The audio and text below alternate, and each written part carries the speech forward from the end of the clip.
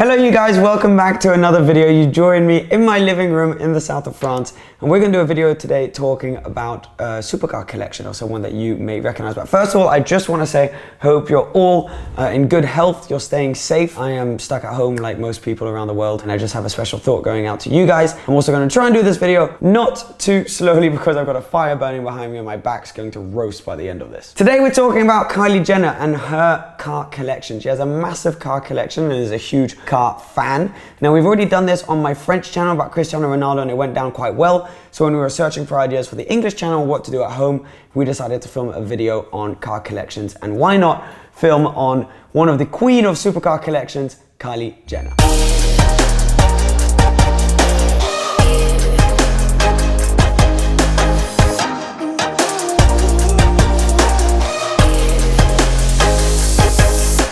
Kylie's a 22 year old car fan. She actually goes to a bunch of cars and coffee events. Now, there's someone within the community that you guys know, Sam Seen Through Glass, who was a massive fan of hers and actually met her at a cars and coffee. And this is how that went for him. Hi, I'm Sam. Do you mind if we get a picture of I, that is like the highlight of my life, that clip. Kylie goes to these cars and coffee events, but she could kind of host her own cars and coffee because she has so, so many cars. Uh, it's so hard to know where to start. And she actually has different models several times over. So for example, let's start with G-Wagons. Kylie's had a G63, the old pre-facelift version of the G63, and she's wrapped that in several different colors. Used to drive that around a ton. It was, I believe, her first car when she turned 18 years old. She's now 22, and when she hit 21 years old, she actually became the youngest self-made billionaire in the world. So she can definitely afford having quite a few cars. So that means she doesn't only have one G63, she has the old version of the G63, she has the facelift version of the G63, and she has the 4x4 squared, heightened, slightly more hardcore, and just massive version of the G63. So three G-Wagons to our knowledge in her collection. I mean, she may have the new one twice or the old one twice, but in terms of models, She's basically got all of them. She's then done similar with Range Rovers, with a particular affinity for Range Rover Sport. She actually had one where she wrapped interior little accents and the exterior all in white carbon fiber. Now she's had many Range Rovers. She's had the Vogue, she's had the Sport, and she's just had them in loads of different colors. And these are cars that she actually usually lends to her friends quite a bit, which is pretty nice. I wouldn't mind having a Range Rover Vogue lent to me by Kylie Jenner. Apparently one of the G-Wagons was actually a breakup gift from Tyga. I mean, what do you mean a breakup gift? That's a thing? You give breakup gifts now? It's pretty classy. I'm so sorry to be breaking up with you. Have yourself a Range Rover. Kylie Jenner is now with Travis Scott, who has actually gifted her quite a few cars. I think she's, I think they're still together. It's hard to keep track. They've got a kid together. But before that, she was with Tyga, who, before he gave her a breakup gift, actually, by the way, I don't know why I'm using this finger to point. I've got an injured finger and we were just making the fire, so it's a little bit gross. But Tyga, for Kylie's 19th birthday, actually gave her a Mercedes S600 Maybach, which is very nice birthday gift. Lovely, lovely car around $200,000 new. It's a stunner. Happy birthday. Stop! Happy birthday to you. So keeping with the theme of having several, she's had several G-Wagons, around 150 to 200,000, or even with the spec she's got on the G 4x4 Square, 250,000 each. The Range Rovers, let's say 150,000 a pop. Now we're moving on to Rolls Royce. Kylie's got a lot of Rolls Royces. She's got a Wraith, she's had, I think, two Ghosts, a Dawn, she's got a Cullinan, and those are running you at least 300,000 each. So yeah, a lot of Rolls Royces. Again, have been wrapped, have changed colors, changed models, um, but clearly a big fan of her Rolls Royces. Now the Ghost is the four door version of the Wraith, so she's got the coupe version, she's got the four door version, and she does also have the latest 4x4 Cullinan, which has a massive twin turbo V12. All of the Rolls Royces do. And the Cullinan, for example, would probably set you back around 400 to 500 thousand dollars depending on the spec. Modern Rolls Royces weren't enough for Kylie though. She went and bought a classic Rolls Royce Phantom, a beautiful white spec. This guy is just so classy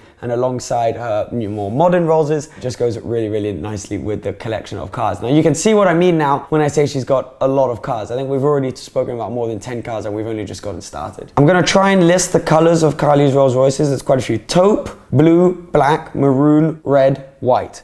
I mean, I can't even keep track of the colors she's got on her Rolls Royces. Now we can talk about Ferraris because she's had a few of those as well. And she's actually modified them a little bit. So all, all got kicked off with a 458 Spider Had that car, wrapped it several different colors, including a really nice gray. It also then had a set of aftermarket red rims on at one point. And she's then also upgraded from there, got an a 488 GTB Coupe, 488 Spider, and then more recently, she actually got the big daddy, the Ferrari LaFerrari, which apparently was a gift from Travis Scott. But there are also rumors that she gifted Travis Scott his LaFerrari as well because he has a red one. So pretty good couple goals right there, both having LaFerrari. Obviously limited to 499 in the world, just under a thousand horsepower, the latest hypercar from Ferrari. These things will set you back on the second-hand market, which is probably where they got them, around four to five million dollars each. Kylie's is finished completely blacked out with a red seat interior. It is an absolutely stunning spec and actually more rare than the standard red with a black roof. So awesome taste, and that's kind of the ultimate car you can have as a petrol head, especially someone that's a fan of the Italian brand. So to our knowledge, Kylie has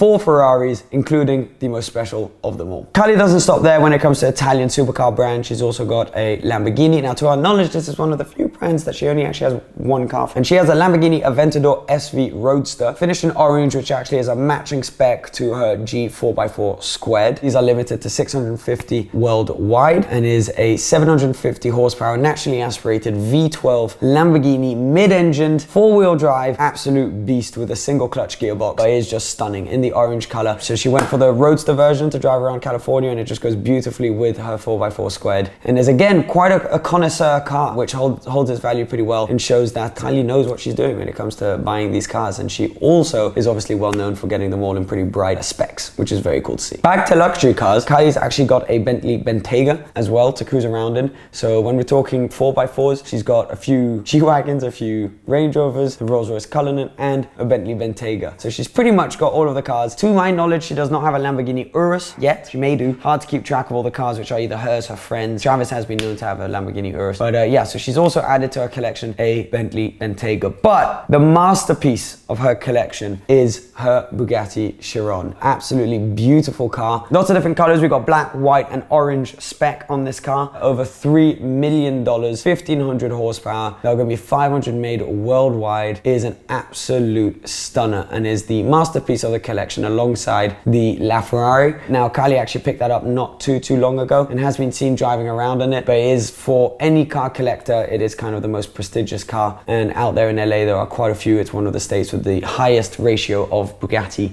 Chirons or Veyrons. To our knowledge, she has not purchased a Veyron yet and purchased this Chiron actually secondhand and did not order it from the factory, but it is an absolutely awesome looking car and completes Kylie's pretty insane car collection for someone who's especially only 22 years old. That's a wrap on Kylie Jenner's car collection. Please let us know down below if one, you enjoy this type of video, but two, also, which is your favorite car? If you could only have one of Kylie's cars, she'll give you the keys right now in a car that you could keep for the rest of your life, which one would you go for? Personally, I would take the blacked out Ferrari LaFerrari. I think there's an absolutely stunning car and not only just a cool car, I think she's just got it in a really, really cool spec. So yeah, let me know what you think. If you enjoy these videos and also please let us know down below anyone else that you would like to see us talk about in this new series of videos that we're going to be doing while we're confined in the living room here. But thanks for watching. Please subscribe as always and we'll be seeing you again very soon. Cheers guys. Bye bye.